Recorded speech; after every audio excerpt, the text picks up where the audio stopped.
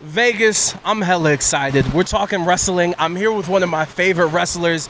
New Japan Pro Wrestling is in the building tonight. Spirit Unleashed, Fighting Spirit Unleashed, excuse me. Eddie Kingston, Ring of Honor World Champion, New Japan Strong, Open Weight Champion.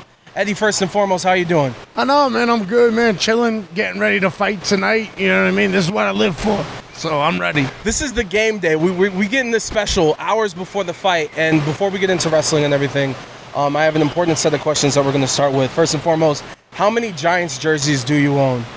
Ah, Over the years, like at least 50, 60, but like now maybe three.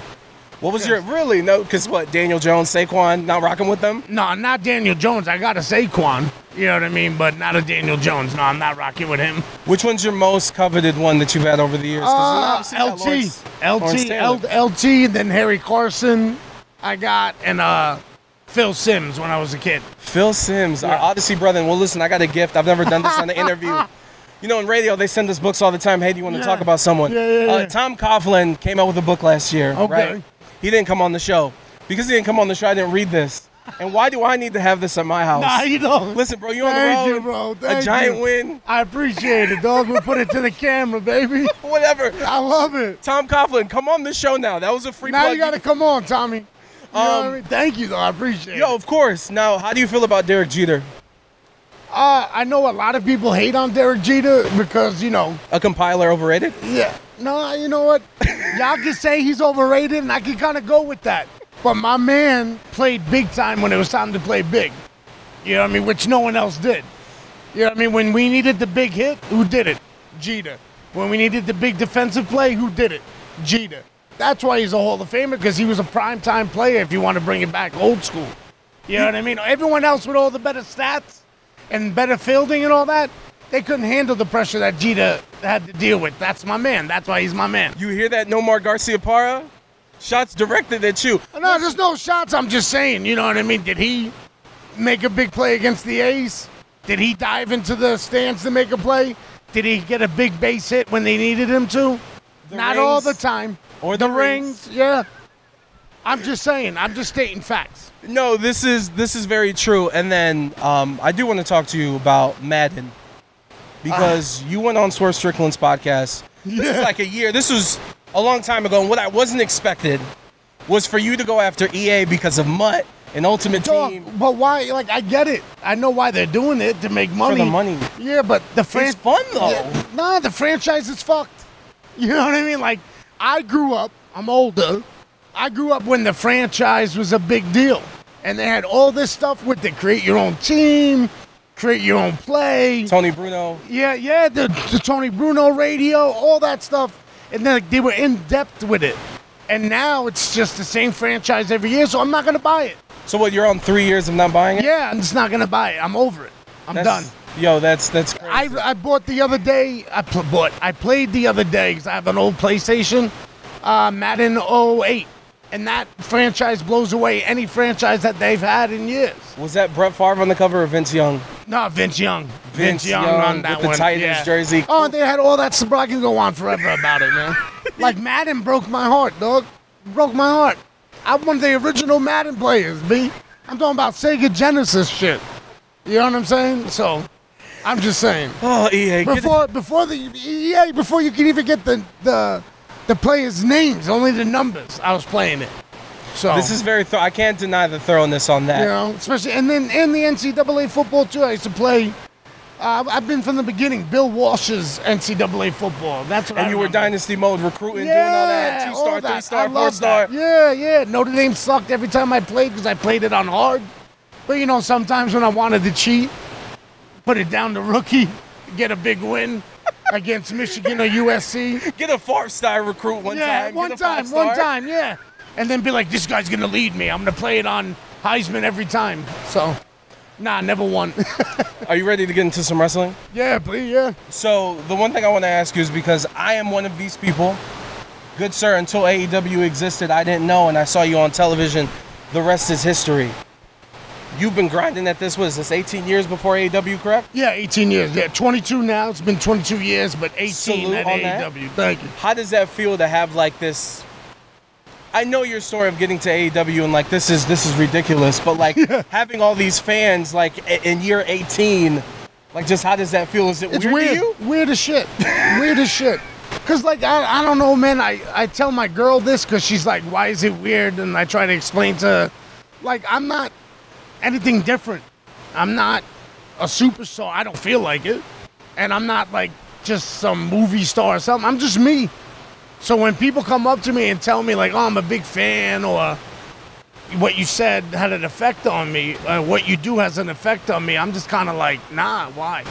You know what I mean? Like, I look at people like Malcolm X or Martin Luther King, and I'm like, look at them. Don't look at me. I'm just a pro wrestler, you know?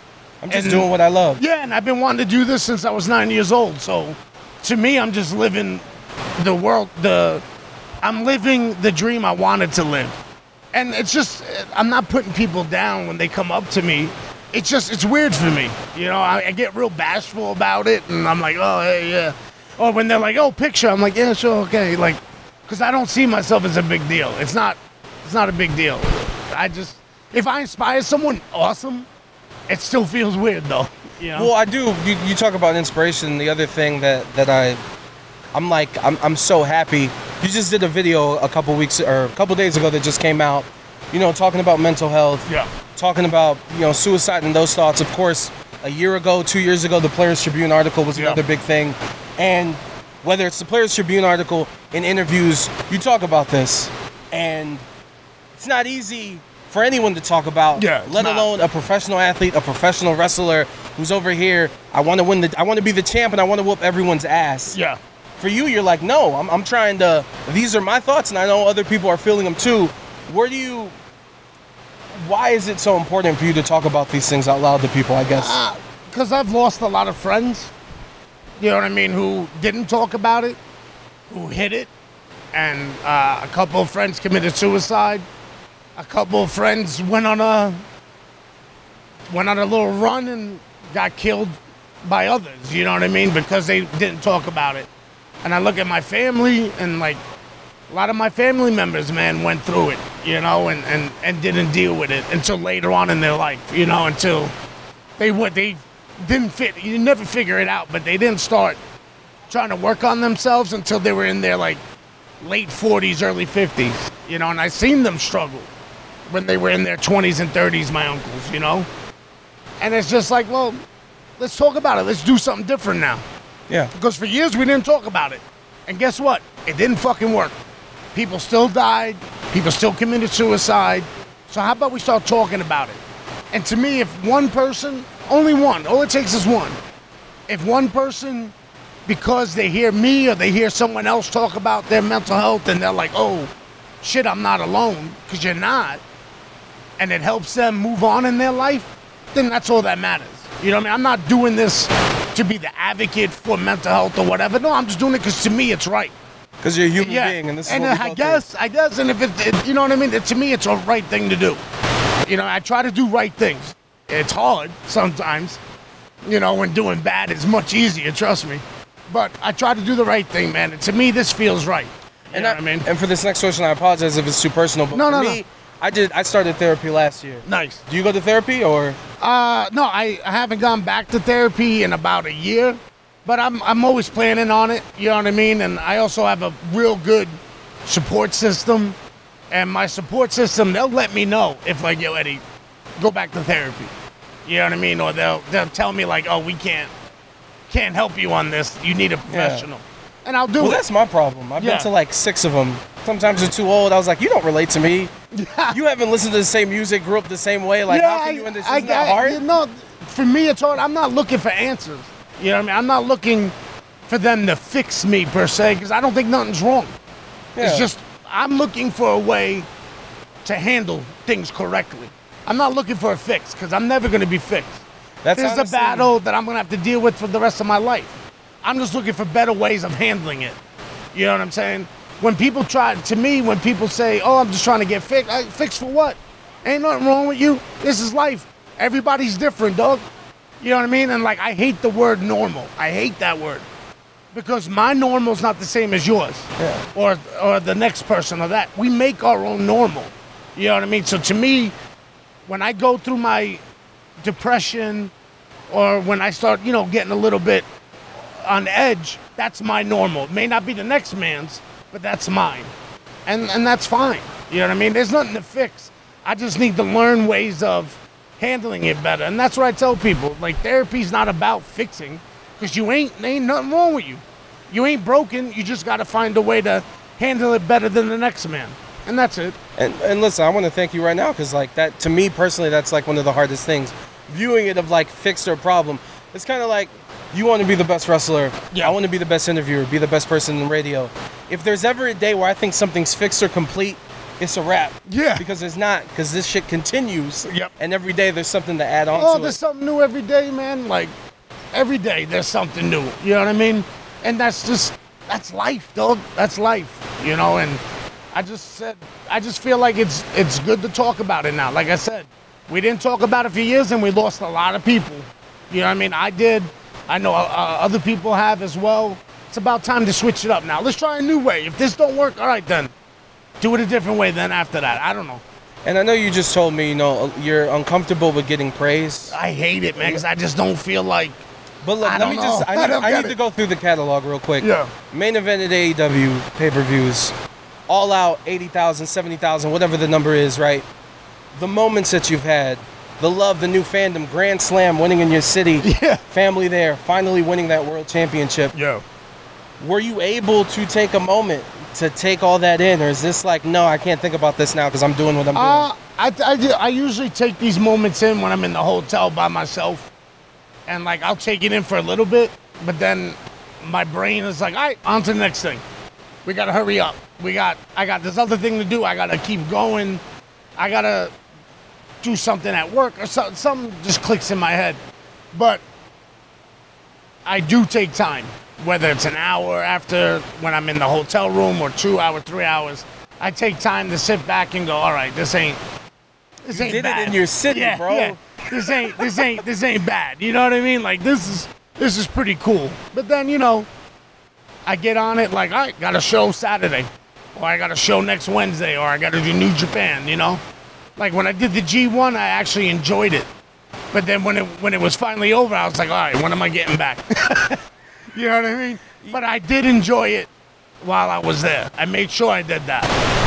when you when you talk about becoming world champion, you know, for the longest time, a lot of conversation online is, well, Vince McMahon wants bodybuilders. That's good for him. You got to look a certain way, and if you're if you look like Kevin Steen, if you look like you, these people are never going to be world champions. No. In your career, was there ever moments where that noise became loud in your head? No. No, because I was actually around. What up, Kevo? Big shout out to Steen. I was around guys like that. You know what I mean? There was a lot of dudes like that around. And no, that never bothered me because they don't know the work that I put in. They don't know that I go to the gym. They don't know that I do Muay Thai. They don't know that I do Jiu Jitsu. You know what I mean? They don't need to know. That's not their business. You know what I mean? But like, they don't know the work I put in and the hours I spend, you know, getting ready to get in the ring. You know, they don't know. Yeah, look, my belly's a little bit bigger, bro. I like ice cream. I like Five Guys. I like, you know what I mean? Yeah, I saw a McDonald's. I saw a McDonald's over here. I like to eat. You know what I mean? But like, I still work out. I still bust my ass. I still go 110% in that ring, even if I can't go. Even if my body's fucking turning on me, I still go 110 and give what I got. So all the people that say that stuff, they don't know me. They don't know the work. So of course they're gonna say stuff because all they see is surface. They don't see anything deeper. So I let them be. And then I also kind of believe it like a lot of the people that say stuff never been in the ring and never done it.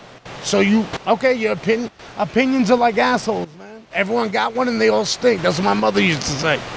Now, when the boys start knocking you and saying stuff, that gets under my skin a little bit. But then I kind of go, well, they ain't gonna say it to my face, so fuck them. You know what I mean? Yeah, that And that's the way.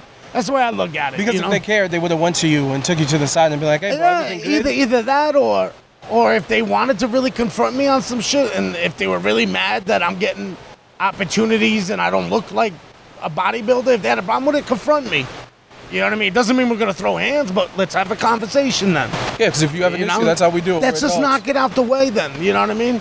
But it is what it is, and to me, Mox told me this a while ago.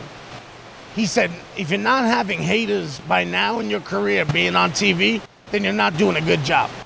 And I'm like, nah, you're right. And no one Yeah. can take any of this away from me, haters or whoever. Yeah, I don't look like the typical wrestler. I ain't got six pack.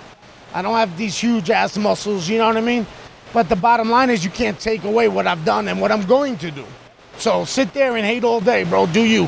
Watch something else then. I don't care. Watch wrestling. Just watch pro wrestling. I don't care. I don't care what kind of pro wrestling it is. Just watch it. And look, they can have all those things you just mentioned, but they very few are gonna make you feel the way this guy makes Ah. you feel when you're watching them. I just, give I try. I, I know, I know. And you see how weird I get real quick? well, look, it's gonna get a little weirder. This is a little controversial, but I'm gonna ask it. And I asked this to Swerve Strickland before WrestleDream. Yep. And this is me not trying to be a journalist. This is me being an AEW fan. There has been events that I've watched and went, holy shit, I've never seen anything like this. Like All Out. Of course, CM Punk had a few issues backstage. He's not the only one, though. Yeah, we There's all been do. plenty of issues, Yeah, right? yeah, yeah. And to me as a fan, I get so upset because let's take All Out for example. All of the conversation was these incidents backstage Yeah. and not what I just saw. For instance, the uh, the All In here in Vegas two years ago where you almost lit someone on fire. Yeah, I wish I a- did. I we need so to talk mad. about that moment and we will in a I was second. so mad that Brian stopped me. I was so mad. But as, and I don't want you to speak for the locker room, I, I'm just going to ask you direct. Does that bother you that the conversation isn't on, that it's on the drama and not on the things that you guys are doing in the ring? Nah, it don't bother me because I don't care. You know what I mean? Like, I have a job to do, and my job is to make the people talk about us. And if I didn't do a good enough job where they want to talk about backstage stuff, then that's on me. I'll just do better next time. You know what I mean? And like I said in the interview before, there was no locker room divide like it was reported because I don't really hang out with a lot of people. I have like four or five people I chill with in the locker room, and uh, those four or five people didn't didn't give a shit what was going on. You know, we were in our own world because we had to go to work, and that's it. But you know, people are gonna talk about the drama because people love drama, man. That's why we have those kind of movies and all that. You know what I mean? They love it, but it's our job to go out there and and produce to make them forget that. And I think we are. But if people still want to talk about it, that's on them, not on me. You know? Since I did bring up CM Punk's name, I do want to ask you one more question. So when he left AEW and everything that happened, and he's no longer with the company, your promo against him went viral. Of course, you said, "Hey, people don't uh, you, you people didn't want you here. You're not liked in the locker room," and everyone pointed to that and been like, "See, there it is, Eddie telling the truth again." Do you feel bad that that moment was brought up again? And you're like, "No, No. I'm doing my job." No, I'm doing my job. Then that's how I felt. You know what I mean? I didn't know what anyone else in the locker room felt. I didn't care. It's how I felt. I didn't want him there. You know what I mean? Me and Punk don't like each other, and that's fine. You're not gonna like everybody you work with. You know what I mean? Do I wish he was still in AEW and I wish it worked out differently? Yeah, because he helped the company. But other than that, I don't give a fuck what he does. you know what I mean? Because me and him never got along anyway. You know? And it don't concern you. We don't have to be best friends. That's not. No, we don't have to be job. best friends to fight each other. It makes it better when we're not best friends. You know, when we have to fight each other. I don't wish him bad, but I don't wish him good either because I don't give a fuck. That's it. No, it's true. And uh, one thing I do want to ask you too is, a couple weeks ago, Sean Ross, uh, Sean Ross Sapp posted something.